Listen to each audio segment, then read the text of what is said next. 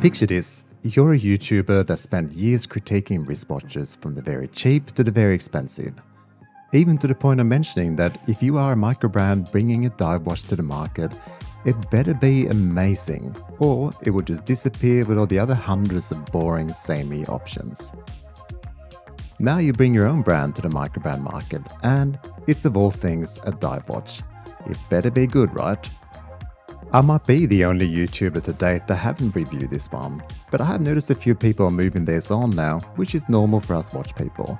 So an April 24 review might still be appropriate, and thank you to Jody for sending me one to film today. Jody at Just One More Watch is an inspiration to most of us watch people, I'd say. He certainly was to me, and I enjoy his content immensely. That said, few microbrands get it right on their first release, but many do, of course, and then struggle with the second release. The second release has just been shared, but the origin is what we're here for today, and here's a short review summary before we get started. This is a very safe release and perhaps not terribly exciting if I was to be pushed to say anything negative, but it is incredibly good value and every single detail is done extremely well.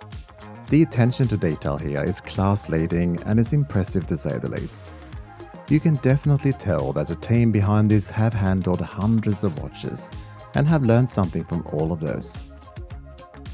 I have no reason to say this other than genuinely meaning every word. And if you want to see why I rate it so highly, keep watching and let's go through the Erebus together.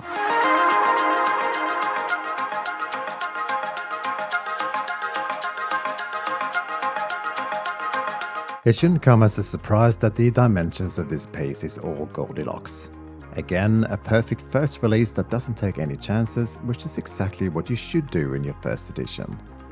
It's 40.7mm wide and 47.1mm lug to lug. Lug width is 20mm and the thickness is 12.5mm. Its water resistance to 200 meters and weighs 170 grams sized up for me. Getting up close, this dial is a matte textured black, no shine, no fuss. The printed logo and wordmark is of good quality, and so is the model name of origin and the water resistance in red. The printed indices are obviously a little reminiscent of the Tudor Pelagos, but a fair bit smaller than that model, at least at the marks in between the 12, 3, 6 and 9. The 6 is slightly cut off to fit in a date complication, which is a white on black that's reasonably easy to see. A discrete red square and a minute track ties in with the red print on the water resistance and also the square and needle seconds hand. An old trick is the blacked out center details of the seconds and hour and minute hand that gives the impression of floating. Speaking of which, these hands are large and extremely legible, I feel like I could make out the time here if it was mounted on a flagpole, is that clear? But even more so since it is white on black in this model. The bezel is all lumed and the font in use is quite Submariner-like. It lines up perfectly, and honestly, how could it not being a YouTuber's favorite complaint? And the action is really very good and feels very precise in your hands. It holds in place a flat sapphire crystal with layers of AR coating on the inside. A large screw-down crown that's more than adequately protected is easy to grip and signed, and it complements a case that's all brushed 316L stainless steel. And what I particularly like here is how thin it is. It fits the wrist perfectly. One important point for me that's often overlooked is that there are no sharp edges anywhere, even where there needs to be one for visual sharpness, it's not sharp to the touch. The longish lugs too seems to complement any strap options. Turning the watch over and we get a deep Erebus logo that yes, does very much remind me of the Helm Vanuatu as others have pointed out, but why would you indeed not take inspiration from one of the biggest microbrand success stories of all time? Behind the screen caseback hides the Seiko NH35, which is not just a workhorse of a movement, but it's fairly accurate usually as well, easy to regulate, and extremely easy to source a replacement for should you want to or need to. It's a smart option in my book. The H-Link bracelet is a very good one too, all brushed and surprisingly delicate. It contours to the wrist nicely and is a very comfortable wear. Bonus is quick release spring bars, so if you do get the optional strap pack, swapping them over is a 20 second job. What we also get is a quick adjust system built into the fully milled clasp that is perhaps a tad fiddly, but how good is it that we get these features at this price level these days? Here's a look at the optional strap pack available from Erebus when you order yours.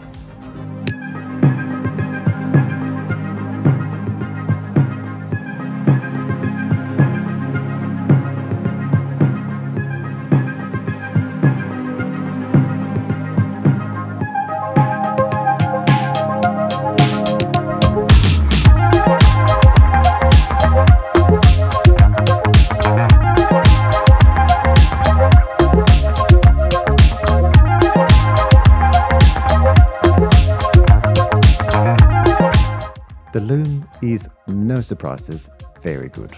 Let's take a look.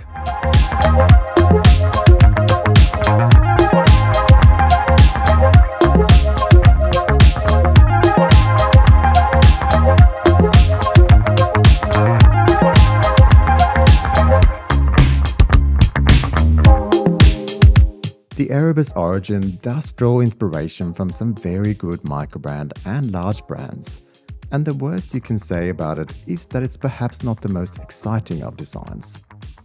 But I know there are brands out there that would be extremely happy if they were anywhere near such an impressive launch. And from my perspective, the quality on offer here is extremely good. Not just at this money, but at 3 to 4 times this money even. My personal guess is that it's close to a loss leader since surely the margins here must be razor thin considering the quality choices all the way down to the excellent screws in use on the bracelet. This is a very good first release, where all the usual bugbears are addressed and at an excellent price of around 500 Australian dollars, depending on how you configure yours. Jody and his business partner capitalized on so much goodwill from their community and the good news is, they both respected and rewarded this community for their trust, and I think we're all very excited to see what will be coming over the next few years, especially when they're in a position to be able to take some risks on original designs. Thank you very much for watching, and I'll catch you next time.